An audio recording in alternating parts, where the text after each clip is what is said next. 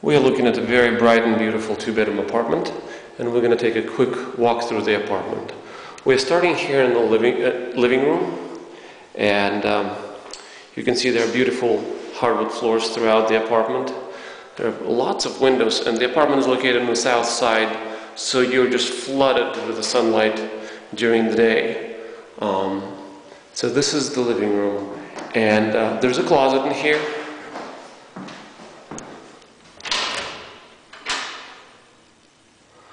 And if you look back here, um, it, from the living room we'll go, go straight to the kitchen. The kitchen has brand new kitchen cabinets, um, double sink, and there is um, gas stove, and it's a very large gas stove. I think 36 inch and full size refrigerator, of course. And this is the look back into the living room. And on that side, this side of the kitchen is a dining area where you can put a dining room table and uh, perhaps some shelves or something like that. Um, so here are the kitchen cabinets again. And from the kitchen we go into the hallway, and on the right side here we have a full size ba- uh, full bathtub and a shower. It has pedestal sink and uh, white tile with black accent edge. Um, back in the hallway we have our linen closet here.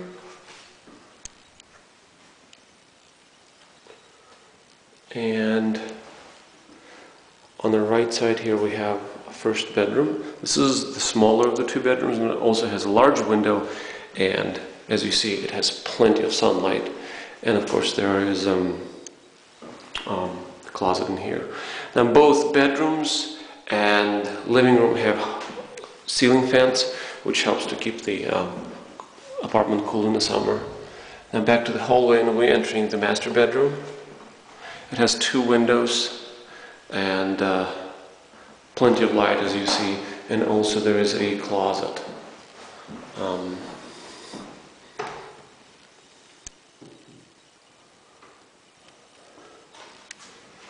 there are beautiful hardwood floors throughout the apartment. We just resanded them, so uh, they are originally floor, original floors, and they turned out to be really beautiful.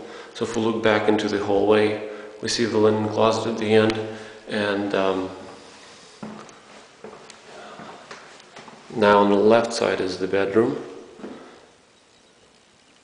And then we're walking back into the hallway with the bathroom on the left side. Even the bathroom has actually nice sunlight going through the obscured window. And back into the kitchen.